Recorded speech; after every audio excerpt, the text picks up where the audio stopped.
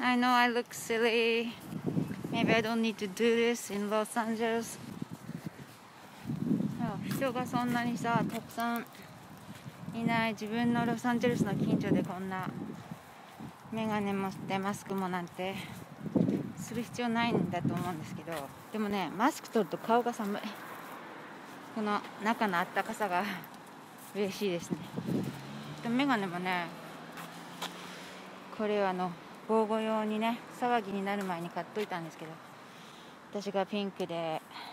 アンディ・トライアンが緑と青彼らにも渡してありますけどもちろん。なんじゃこれって言ってましたけど。これ結構似合うんですよ私。サングラスよりもねあの脇もこうやってちゃんとガードできてるし。とにかくえー、昨日レコーディング中にあのちょっと映像を撮ったんですけど